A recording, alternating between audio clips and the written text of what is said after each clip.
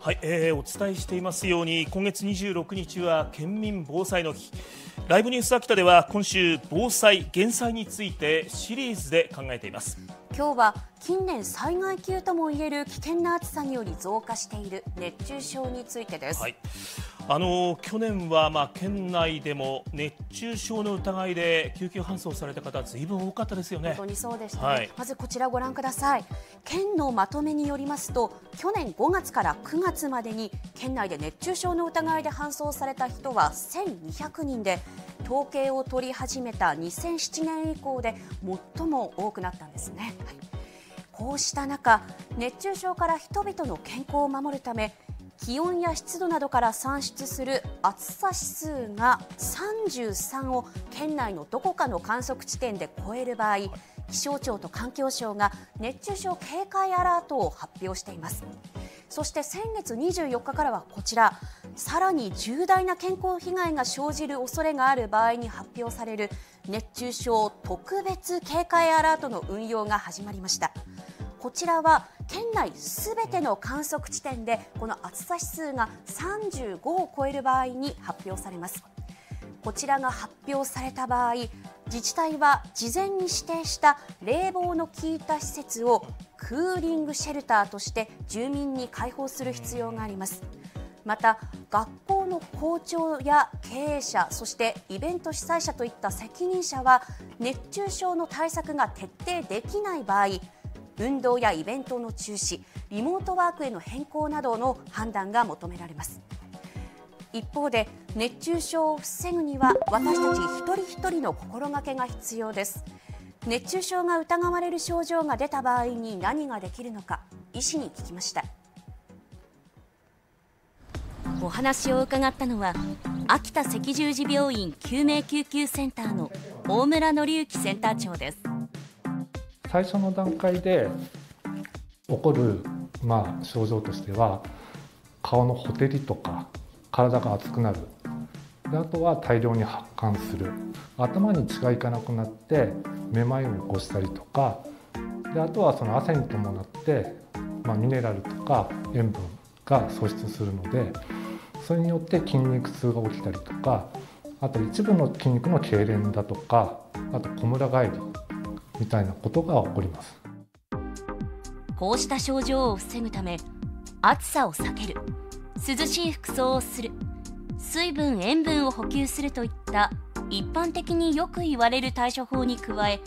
まずは暑さを知ることが重要だといいます。室内での高齢者の熱中症が結構問題になるんですけれども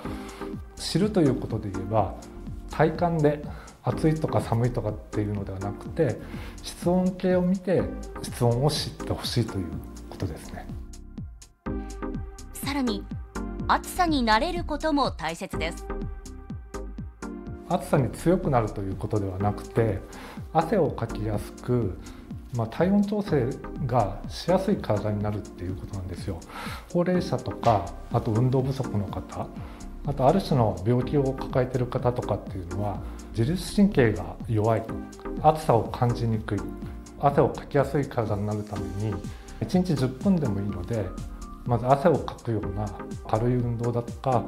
あとまあ入浴あとサウナとかでもいいのかもしれませんが、えー、とそういったものをするということですね。十分な対策をしていても熱中症の症状が出た場合水分や塩分を取り体を冷やす必要があります手のひらに、うんとまあ、動脈から静脈にこう吻合するちょっと太めの血管が走ってるそうなんですでそこを冷やすとそこで冷やされた血液が